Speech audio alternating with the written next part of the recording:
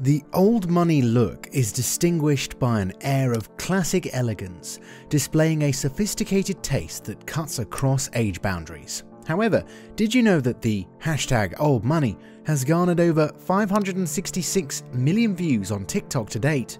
With bite sized explanatory videos about renowned families, East Coast versus West Coast wealth, and of course, how to style old money trends for both men and women, the hashtag old money has begun a trend across the internet. This classic, yet subtly opulent look has gained a newfound special place in the collective consciousness. However, the question on everybody's lips is why now? How old money fashion started.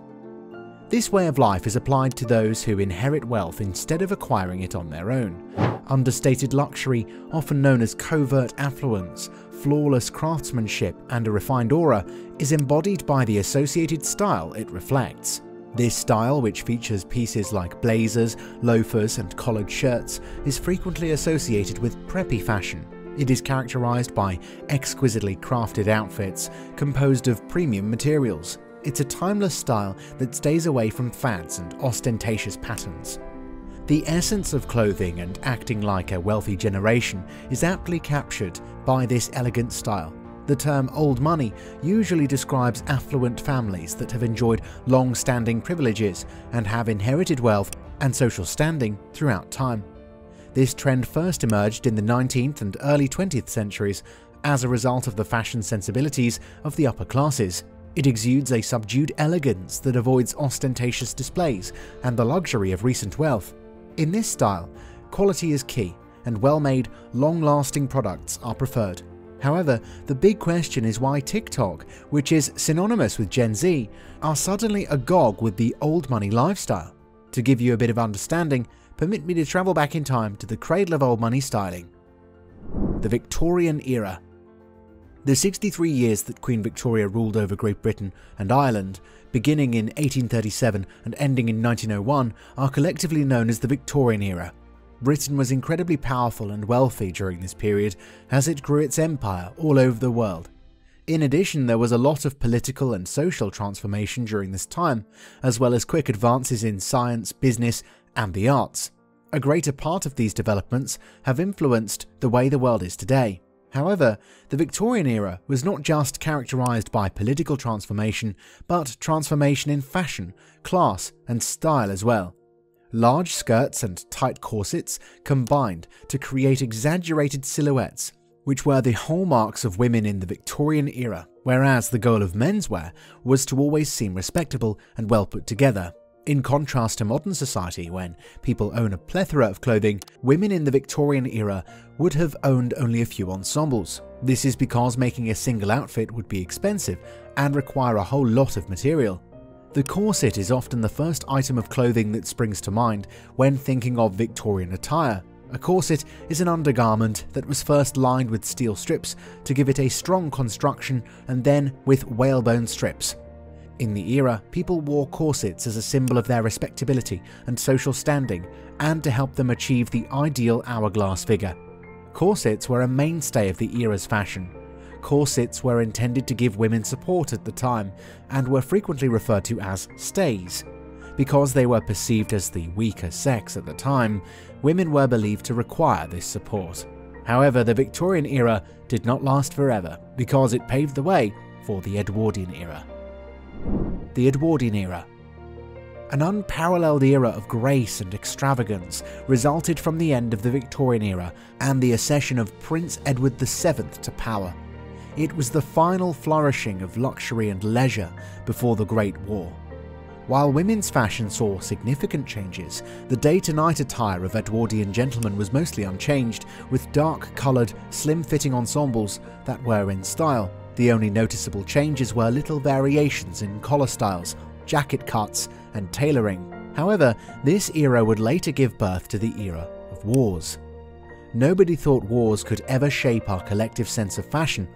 Oh, but it did, especially for the ultra wealthy.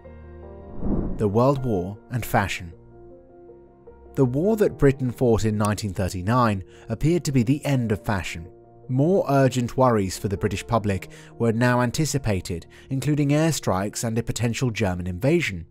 fashion in Britain was disrupted and dislocated in various ways by the war. There weren't enough resources or basic materials to make civilian clothes.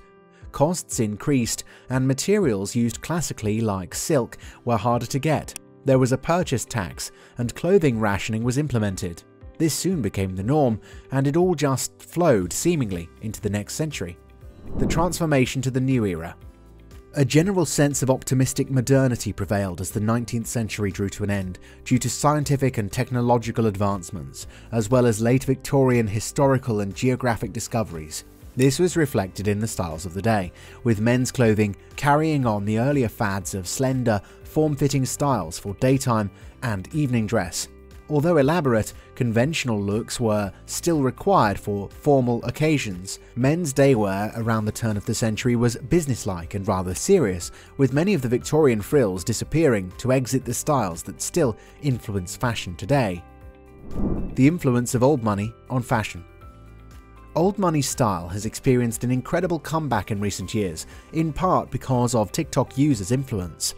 A new generation finds it impossible to resist the modest elegance that this style embodies, adopting it as a blank canvas on which to paint their distinctive style.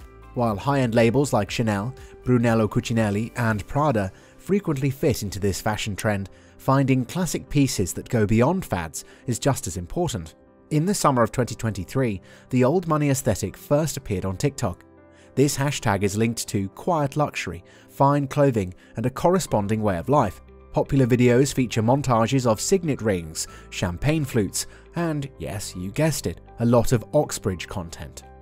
Blair Waldorf from Gossip Girl and other fictitious characters, as well as wealthy 20th century figures like the Kennedys and Princess Diana, are prime examples of this aesthetic.